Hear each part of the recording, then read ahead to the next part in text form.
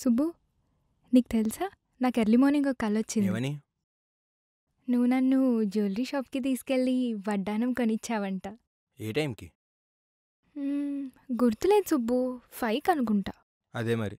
Five ఫైవ్కి మీ బాబు వచ్చి bill కట్టినట్టు నాకు కాల్ వచ్చింది.